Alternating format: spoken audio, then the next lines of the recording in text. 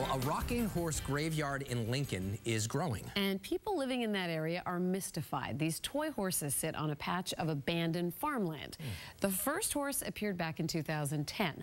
Over the past few weeks, the plastic and wooden horse population here has increased from 30 to 42. Officials say visitors secretly add to this collection.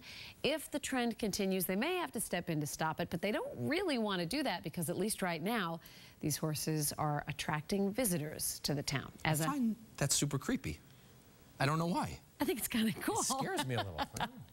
Who does it? Well, we have much more still ahead. The news at 6 starts right now.